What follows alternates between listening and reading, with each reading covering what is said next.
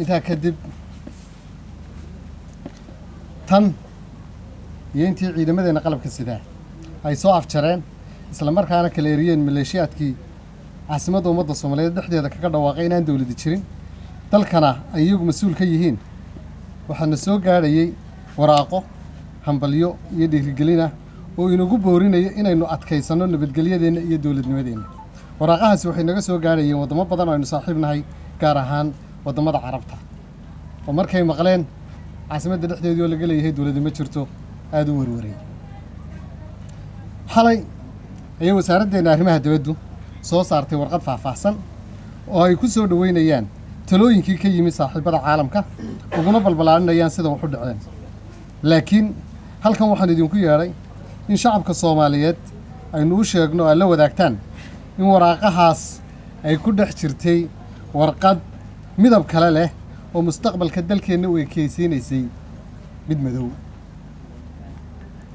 Muddo aada u dheer soomaaliya iyo dowladda imaaraadka carabtu waxaa ka dhexeeyey xidhiidh walaaltinimo mid dhaqan iyo mid ganacsi oo weliba aada u qoto dheer.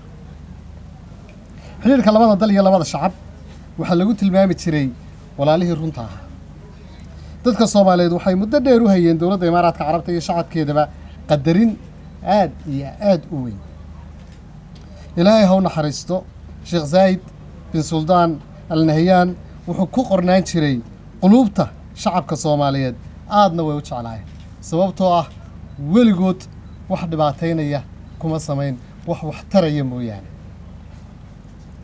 Iyadoo waxaa soo dhami jiraan haddana muddooyinkii ugu dambeeyey kadib markii madaxda dowladda imaaraadka u qaabilsan arrimaha dibaddu ay u dhaqmeen si aan ka turjumayn walaalnimadii soo jireenka ahayd ee shacabka soomaaliyeed iyo dowladdoodaba waxaa galay shacabka soomaaliyeed iyo dowladda soomaaliyaba waxaa galay shaki ah oo inay isweydiiyaan in imaaraadku la jiraan iyo inay ka jiraan ummadda soomaaliyeed. Habdhaqanadoodii dulqaad iyo ilaalinta walaaltinimada ayaa dowladda soomaaliyeed ku khasbay inay mar kasta wanaajiso xidhiidhka labada dal.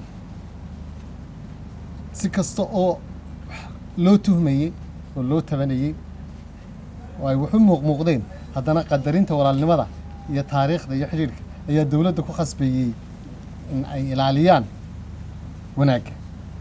Haddaba maanta waxaa dowladda imaaraad ka soo baxday warqad warqadda aan kor u soo shee ku soo sheegay midabka kale lahayd oo aan meella ka waafaqsanayn xiriirka diblomaasiyadda qaynuunka caalamiga walaalnimada labada waddan iyo dhaqanka carbeed ee ku dhisan is-ixtiraamka warqadda imaaraadka waxaa ka muuqda inaysan aqoonsanayn dowladnimada soomaaliya oo ay dowladda inkirayaan taasoo abuuraysa in hadalkii halkan laga lahaa dorhaaday ahaa dowladi ma jirto iyo warqadda dowladda imaaraadka ka timi ay isla socdaan.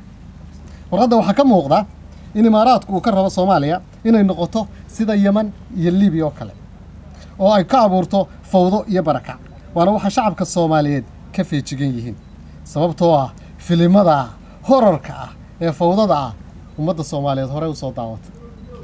Mar labaadna ma rabaan inay filimadaa dib u daawadaan argagax ah iyo dowlad la'aantaah warqaddani waxay shacabka soomaaliyeed iyo dowladdoodaba u caddaysay tuhunkii ay qabeenee ahaa saraakiisha arrimaha dibadda imaaraadku inay qayb ka ahaayeen dibindaabyadii dalka lagu hayay sannadihii la soo dhaafay oo dhan dibindaabyadaasoo si cad uga hor imanaysa qaynuunka caalamiga international lowga. Waxaana wakhtiga loo baahdo iyadoo caddaynteeda wadata soo bandhigi doona hay'adaha ay khusayso waxaana ka dhalan karaa sharci jebinta mas'uuliyad. Waxaa kaloo warqadan ka soo baxday dowladda imaaraadka gaar ahaan wasaaradda arrimaha dibadda ay shacabka soomaaliyeed iyo dowladda soomaaliyeedba dib u xusuusisay. Maalmihii la saxeexay heshiiskii toddobiyo tobankii sebtembar ee laba kun iyo labaatan qaar ka mid a madaxdii heshiiska saxeexday isla maalmihiiba ay u safreen imaaraadka. Kolkii ay ka soo laabteenna ay la soo noqdeen iyagoo shuruudo cusub wata mar walbana keenaya caqabado hor leh. Dowladda iyo shacabka soomaaliyeed waxay ka fajacsan tahay colaadda intaas leeg ay saraakiisha imaaraadku u qabaan dadka soomaaliyeed ee jecel walaalahooda imaaraatiyiinta dadka soomaaliyeed waxay isweydiinayaan maxay walaaladeen noogu diidan yihiin nabadda horumarka iyo wanaagga annaguba intaa in leeg ayaanu la jeclaa. Shacabka soomaaliyeed waxaan u caddaynaynaa in hadalka maanta imaaraadku soo saaray uu yahay mid qarannimada iyo jiritaanka dalka baabiinaya.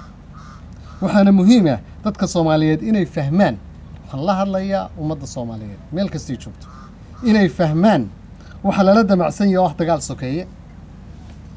Inuu dhaco si loo xalaalaysto dhulkooda iyo baddooda oo haddaba muran la geliyey. Waxaa laga yaabaa in dadka qaar yidhaahdaan haddii walaaladeen inagu qaldameen innagu maan ka roonaanno oo maan ka aamusno oo ayaynaanu jawaabin. Cajiib. Haddii maanta aan ka aamusno dal dhan oo walaalah oo shaqiiq ah oo leh statementkoodii baan rabaa saddexda erey ku jira inaad ii sheego dagaal iyo qalalaase ayaa hadda ka socda. There is ongoing violence in muqdisho hadduu socdaabay dii ku leeyihiin dagaal baa socda xaaladda muqdisho way ka sii daraysaa. Territoriatin bay noqoto way ka sii daraysaa. Soomaaliya dowladda kama jirto way dhammaatay inteeran baa loo guuray? Wixii ka soo baxnay laba kun iyo labaiyo tobankii. Ayay rabaan inay nagu celiyaan dowlad la'aanta ah hadallada warqadda ku qorani. Waxay xusuusiyeen markaan arkay xalay hadallada ee ku jiray heestii abwaan cabdiqayse ahaa. Ku wiirsaad lahaydoo noloshaba ha waaye aniga awoodkaygiiyo waktigaygu gelinoo weynuhu idaayee waxba iyo lamaad hadhin wax allo runtii warqaddaa ku qornaa la hadheen ma garanayo aniga awoodkaygiiyo waktigaygu gelinoo weynuhu idaayee waxba iyo lamaad hadhin dagaal iyo qalalaase ayaa ka socda xamar bay idhahdeen xaaladda muqdisho way ka sii daraysaa bay idhahdeen soomaaliya dowladi kama jirto ayay idhahdeen haddii aan waxaas ka aamusno sow jawaabtu noqon mayso. Xigmaddii carbeed ee odhan jirtay assukuut calaamatu rida. Aamusku waa waxa lagu garto inaad raalli ka tahay waxaad ka aamustay. Nidaar qabaanigii reer syriana waabuu sii fogeeyey aamusko. Sukuudka wuxuu yidhi waxa weeye waa waa ixtiyaaj iyo weji iyo waa waa wuxuu ku aamus haddaad ka aamusto gartaada waxay ka dhigan tahay inaad hoos u dhigtay qabkaagii iyo qiimahaagii. Taasna haddii aanu soomaali nahay inaannu qabkayaga iyo qiimahayaga hoos u dhigno dhaqanna uma lihin hiddana uma lihin sinaan ayaanu dhaqan u leenahay inaannu bini aadamka la siman nahay. Soomaaliya waa dal xora oo madax bannaan sida uu dhigayo axdanka qaramada midoobay united nation charter. Madax bannaanida dalna lagumaba xadgudbi karo. Madax bannaanidu kuma xidhna dhaqaale bed iyo ballac iyo juquraafi toona. Dalka ugu yar ee boqolka kuna iyo ka ugu badan ee one pointy five bilyankaahi according to the international law waa isku xuquuq. Dadku way siman yihiin nina caarma dheera sovereigns are equal and have equal sovereignty all states are equal and have equal sovereignty dowladda soomaaliyeed waxaa ka go-an inay difaacdo madax bannaanideedaas qarameed. Waana ka tanaasulen arrinta doorashooyinka oo warqadda ku qoray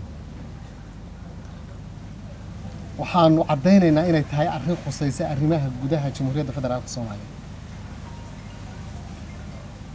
Arrimaha gudaha ee soomaaliya. Mana jiro dal oggolaanaya in qof waliba ka hadlo doorashada dalkiisa.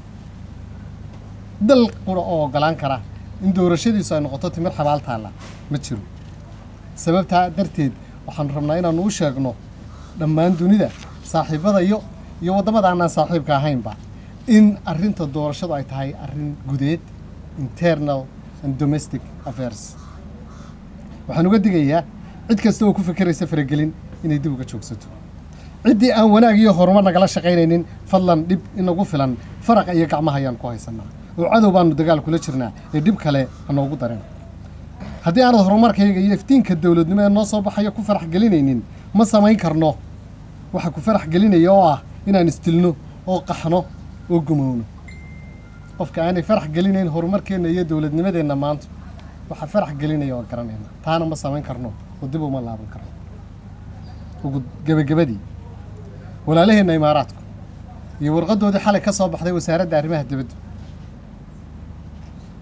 Iyagoo u malaynaya inaanaan arkayn habdhaqankooda waxay xusuusinayaan xigmaddii mawlaana jalaaludiin ruumi ee ahayd eyes. They are small but they say animal things indhahaygu way yaryar yihiin laakiin wax badan bay u jeedaan waxaa laga yaaba inay isleeyihiin soomaaliya waa dal soo koraya oo soo dhismaya oo soo kabmaya laakiin wax badan ayaa inoo muuqda oo aynu ujeednaa ugu dambayn iyadoo waxaasoo dhan na lagu sameeyey annaga oo ah dal iyo dad ka soo kabanaya burbur iyo dhibaatooyin dagaal oo aan rabin inay dib ugu laabtaan jidkii foosha xumaa waxaan dowladda walaalaha ee imaaraadka ka rajaynayaa inay noo fasirto hadalkaa gefka ku ah qarannimada iyo jiritaanka ummadda soomaaliyeed. Khaladka ay gashayna ay ka cudur daarato ma rabno. Kelmaddeedaa ugu dambaysa u fiirsada. Ma rabno in jiilasha soo socda ee carbeed aynu uga tagno godob iyo taariikh madow. Oo dhaxal siisa inay noqdaan qaar aan isu hiilin oo isnacab ma rabno in jiilasha soo socda ee carbeed aynu uga tagno godob iyo taariikh madow. Oo dhaxal siisa inay noqdaan qaar aan isu hiilin oo isnacab هذه آد باو مهات سنتين. سؤاله هنا وي نو فريه على حسب علينا كوره يعني وحات لي ان دوله الامارات كقرال كذا وحا كجرى ان دغاد مقدشه كسود مدافعيدي اي رصاصتي هبن كدويتو عرورتا اي وايلكا وردده كسميس ومغا عن دغال اهين أو ادي انت خنيسان با باجي أرنتها واتي ذو راتور هزل وسارها جمهورية الفدرالية الصومالية محمد حسين رابلا سيدا في عام راحت لي دمان عالم كان فرينتها سوي قادي in la magaalada dhexdeeda lagaga dhawaaqay inaan dowladi jirin. Oo ay maleeshiyaad yidhaahdeen dowladda ma jirto annagaa meesha ka dowladda marka su'aashaa waxaan malaynayaa jawaabtii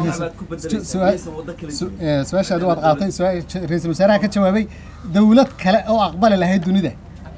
State houseka nairobi ama aradkiile odaga addis ababa ama jabuuti haddaad madaxtooyada horteeda ayaan odhanayaa dowladi ma jirto. Adaa garanaya magacaad u bixinayso. Sidee lagu magacii cali xasan waaye idaacadda risaalan ka socdaa. Sidee lagu aamini karaa doorashada? Mar haddii aad caburinaysiin musharaxiintii xilka madaxweynaha u tamaysay aad xabadaynaysiin u diidaysa inay banaan baxaan sidee lagu aaminaa haddaad mahadsanta cali su'aashaasi hadda waxaan u inaad topica ka yar baxsan tahay. Maad dhegeysan baan u malaynaya statementkaygii statementkaygu wuxuu ku saabsanaa iyo warkaan sheegayaa arrintii warqaddii ka soo baxday dowladda aynu walaalaan nahay imaaraadka kaasoo aanu nidhi waxaanu u baahan nahay bal inaad noo fasirtaan oo aad dib isugu noqotaan oo wixii aad qorteen waa wax la aqbali kara maahee aa cudurdaar ka bixisaan maya waxaa dowladnimada haddaama waxaad rabtaa in la idhahdo dowlad ma jirto waxaasaad rabtaa adigu ha miyaad rabtaa adigu miyaad rabtaa adigu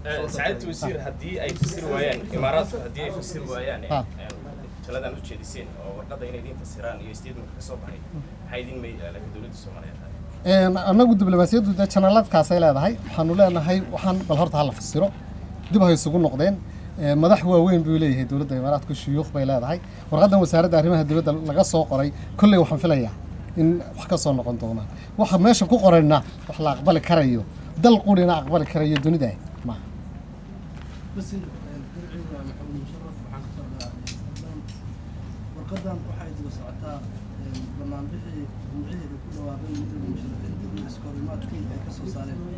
Mar labaad waxay ku dhawaaqeen in banaanbax kala qaban doonaan. Bal taas maxaa dowladda kala barshadaan haddii dhacdo banaanbax kale in la qabto? Ma sida in oo loo wajaho jimcihii mise si ka duwan? Xukuumaddu go'aan bay soo saartay. Ah inta xaaladan corona lagu jiro in la joojiyay suumaatinada xukuumadda go'aankeedii golaha wasiirada ka soo baxayna isma bedelin waxa la fulinaya ee ciidamada amnigu ay fulinayaanna waa taa. Waxaa runtii nasiib daraana waxay idin dhimasho maleeshiyaad yimaadaan oo ay bahashu aada u qarribanto laakiin go'aankeenna xukuumadda ee golaha wasiirada ilaa go'aan kale uu yimaado uu bedelo sidiisibu intact uu yahay. Aad baad umahadsantahay su'aashaan eh, sacaadatul wasiir eh, magacayga waa yuusuf axmed eh, waxaan ka socdaa v o s t v. Isna su'aasha la xiriirta arrimaha doorashada marka aynu isdul taagno madaxweynaha jamhuuriyadda federaalka ee soomaaliya toddoba iyo tobankii bishan wuxuu soo saaray iclaan ah in shir muqdisho uu ka dhaco inta u dhexaysa sideed iyo tobanka ilaa iyo sagaal iyo tobanka. Shirkaasi muusan qabsoomin